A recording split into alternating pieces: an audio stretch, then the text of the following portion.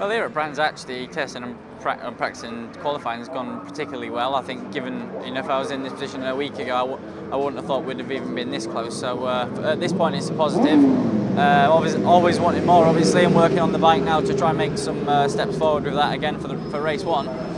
And just really looking for a good start, hang in there with uh, some of the fast guys and see where we can bring it home. I mean, first race of the year, it's just um, bring some points back. You know, it's a long season, two good, strong point scoring finishes this weekend would be all I'm looking for at this point of the year.